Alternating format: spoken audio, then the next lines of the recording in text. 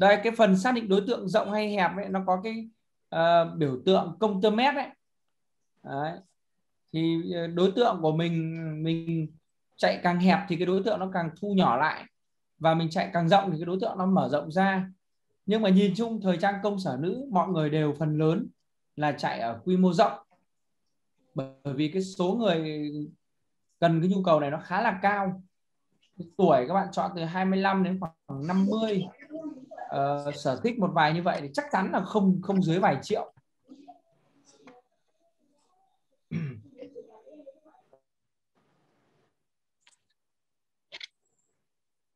Rồi bước tiếp theo là chúng ta sẽ chọn đến cái fanpage mà chúng ta muốn chạy. Có thể có nhiều người có nhiều người có nhiều cái page khác nhau. Nha chiến lược chạy page thì chúng ta có thể có nhiều page. Uh, có thể chạy chung ví dụ như là lập một cái page là Doan Thái Bình đó hay là Doan đó, Doan thời trang đó. trong trong đấy có thể chạy cả Charlie chạy cả LV chạy cả Baza chạy cả XYZ đấy là ví dụ. Nhưng mà cũng có thể là có ba nhãn hiệu để tạo ba page khác nhau. Đấy có ba nhãn hiệu để chạy ba page khác nhau. Cũng là một cách. Đấy, tuy nhiên là ba nhãn hiệu mà chạy ba page khác nhau thì nhìn chung là chi phí quảng cáo nó bị đội lên khá nhiều. Hoặc là mình cân nhắc những cái sản phẩm nào có lợi nhuận tốt và có khả năng chạy quảng cáo tốt thì mình mình mình à, cân nhắc mình chạy chứ không nhất thiết nó phải là thương hiệu nào. Ví dụ như là là làm việc với bên bên Baza các chị thấy là cái hình ảnh của công ty làm cho các chị, rồi cái video làm cho các chị à, rất là đẹp. Nên là các chị chạy quảng cáo gần như là đã đã rất lợi thế rồi. Tiết kiệm được cái tiền quảng cáo, tiền tiền chụp ảnh rất nhiều rồi thế nên là công dụng để mà chạy quảng cáo Facebook quảng cáo web quảng cáo Google vân vân. Rồi đến cái bước này mình chọn page xong thì mình chọn bài. Bài ấy, thì mình đăng lên trên fanpage của mình. Bài mình đăng hình ảnh và nội dung cộng với đăng video và nội dung. Hoặc là một số người có web thì chạy web.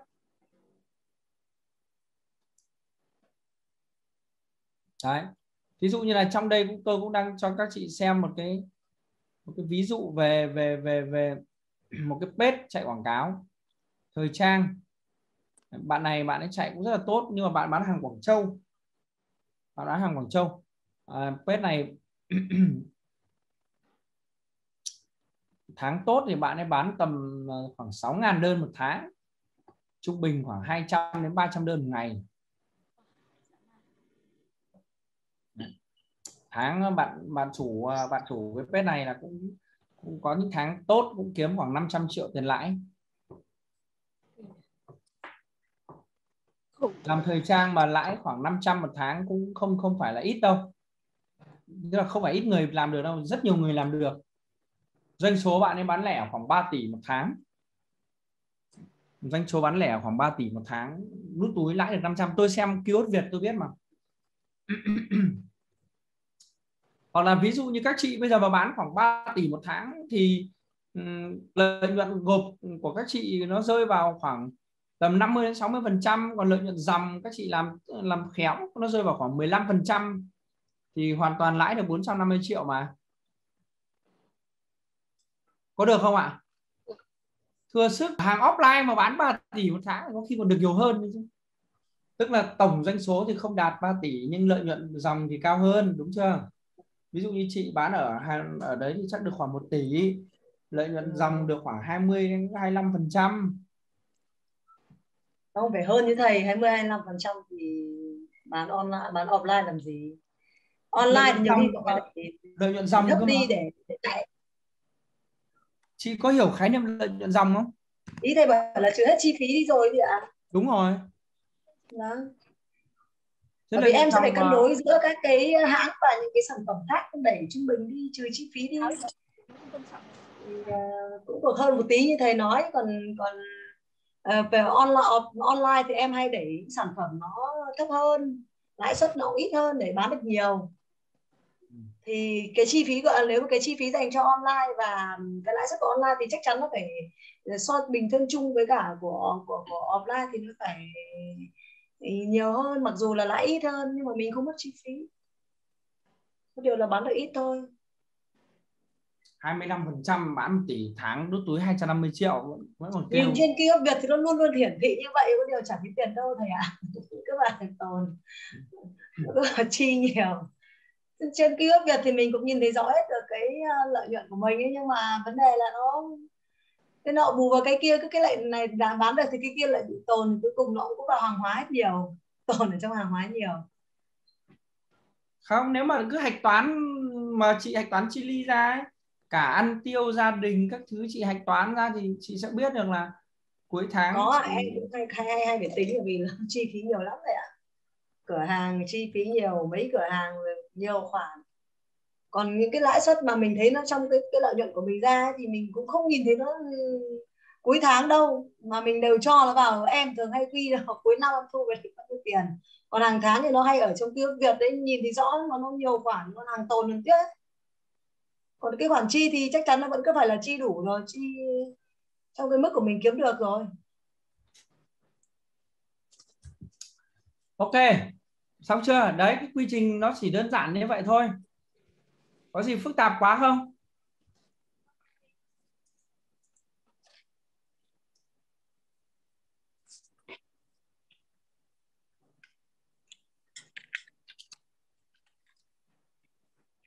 Làm nào để chạy quảng cáo hiệu quả? Thì thứ nhất là chúng ta sẽ cần sản phẩm đẹp. Đấy. thứ hai là hình ảnh sản phẩm. Đúng không ạ? Nó nó đẹp nhưng mà nó phải chân thật bây giờ bây giờ thì khách nó rất là sợ những cái loại đẹp mà lung linh thái quá. Đẹp chân thật. Thứ ba nữa là mình chạy quảng cáo thường xuyên liên tục. Thứ tư là mình chăm sóc khách hàng trước trong và sau bán tốt.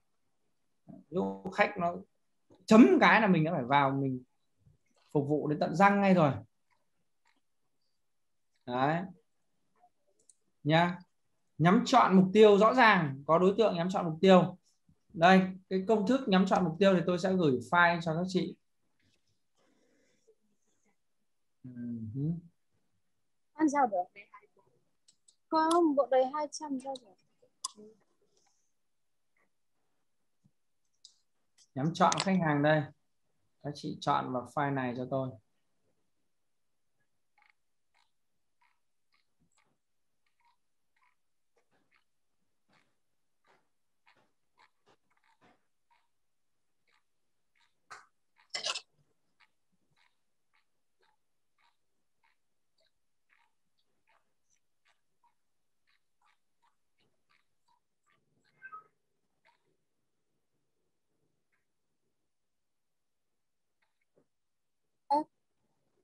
sao lại mất tiếng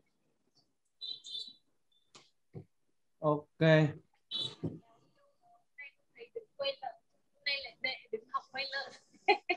Chắc ngủ.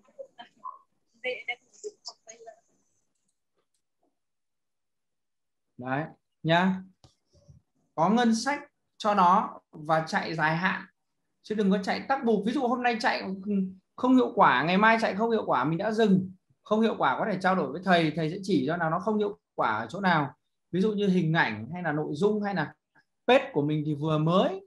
Hầu hết bây giờ các chị mà mới chạy ấy, thì cũng sẽ có cái, cái cái nhược điểm là nó sẽ không chốt được ngay. Cái tỷ lệ chốt nó rất là thấp và thời gian chốt nó lâu. Chứ còn chạy thì là ra đơn đầy.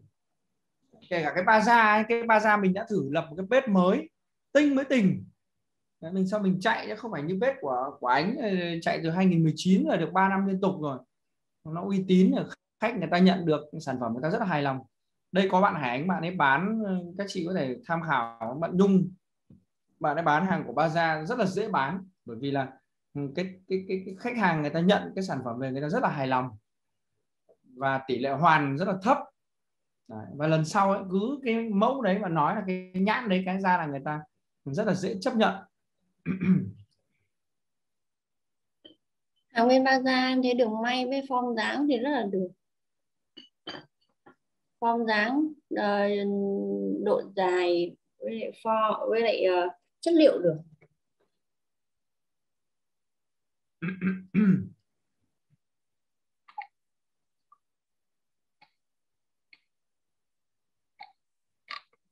Với nó ít bị đụng hàng hơn so với những cái hàng ninh hiệp đang bán hàng ninh hiệp bây giờ là là gần như là ừ, không phải tự hào nhưng mà hàng ninh hiệp bây giờ là là nhái mẫu của hàng baza rất nhiều.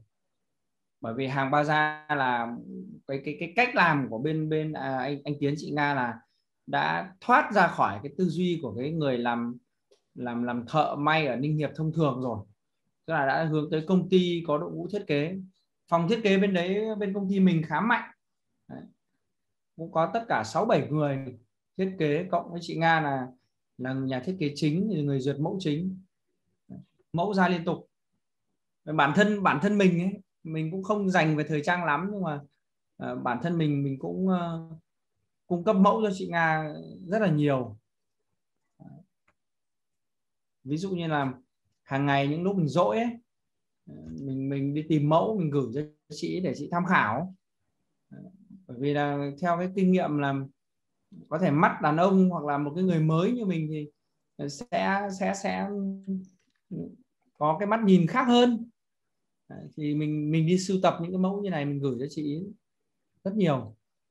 Thế còn cái cái việc mà chị ra mẫu nào, quyết định như thế nào, đấy là quyết định của bộ phận thiết kế, không liên quan đến mình. Mình chỉ tư vấn là, ví dụ bây giờ muốn chị Doan chị bán tốt hay là muốn chị Nhung chị bán tốt thì thì mình sẽ làm việc với các khách hàng xong thì mình sẽ yêu cầu là phải đáp ứng những cái giải hàng như thế này với mức giá như thế này. Thì mới có thể là người ta mới có thể bán được nhiều. Còn nếu mà giả sử chỉ ra đơn đơn giản một vài mẫu như này như này thì ừ, người ta sẽ không thể bán được nhiều đúng không? Hoặc là như Hải Ánh ấy, Hải Ánh bán nhiều Hải Ánh sẽ biết là mẫu nào bán được kiểu nào ví dụ set hay là váy hay là ừ, com lê hay là veston thì phải đặt hàng và có có kế hoạch doanh số tháng này muốn bán 500 thì phải quy đổi ra. Lập kế hoạch rất là chi tiết đấy. Doanh số muốn bán 500 này quy đổi ra là bao nhiêu mẫu hàng mỗi mẫu bán bao nhiêu hàng. Mẫu cũ là mấy mẫu mẫu mới là mấy mẫu. Thì mình làm bài bản được như vậy. Bây giờ hiện nay hiện nay công ty cũng cũng chưa quá lớn cho nên là hoàn toàn các chị là những cái khách hàng đầu tiên ấy, là đang có nhiều cái lợi thế rất là lớn có thể làm chi tiết đến mức như thế cho các chị được. Nhưng sau này giả sử mà công ty nó có có lớn hơn ấy, ờ, đến ví dụ như mấy chục đại lý ở khắp các cả nước thì phục vụ từng chị như thế là là hơi khó. Nên là bây giờ các chị tận dụng hết sức có thể đi. Hải Anh có thể thuê thầy nhặt mẫu cho Hải Anh nếu muốn. em em cũng xin uh, chia sẻ một chút về cái hãng thời trang Bazaar trước kia là em cũng có chạy quảng cáo nhưng mà nó cũng không thể hiệu quả như là bây giờ. Và khi uh, hàng uh, Bazaar của chị Nga mới uh, mới tách riêng của chỗ Hồng Kông với chỗ Anh Quý đấy thì, uh, đầu tiên em cũng không không biết là là của mấy anh chị chung nhau xong rồi là tách ra đâu. Thì uh, các bạn bên đấy là mời gọi điện mời tham gia vào nhóm để à, cập nhật các mẫu mới. Thì em lấy bài em đăng thôi. Xong rồi hàng về à, em đăng thì cũng có khách đặt và đặt hàng. Sau đó là một cái mẫu váy đấy mà một cái trường người ta đặt đồng phục luôn. Mới đầu hàng về nhá, em chỉ em chỉ đứng ở cái dốc baza là em gọi điện cho Vân là Vân à, cầm lên cho chị vì chị đi ô tô chị không xuống lấy đâu. Thêm một cái em cũng cầm lên mà năm, bảy cái em cũng cầm lên. Sau đó là em bảo chẳng hiểu tại sao cái mẫu này nó lại ăn khách thế. Lúc đầu em không dở ra luôn. Em mới dở ra mà ơ, chất lượng cũng tốt, đường may ờ, cũng đẹp. Thế em mới thử, em mới thử chạy một cái bài quảng cáo thì nó rất là ăn. Mà đặt không phải là đặt một G 5 G đâu mà phải đặt 10 G mà còn phải cãi nhau mới có hàng cơ. Đấy là cái mùa đông năm ngoái.